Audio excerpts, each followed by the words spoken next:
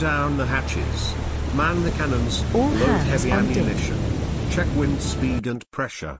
Let's show these bastards who they're messing with.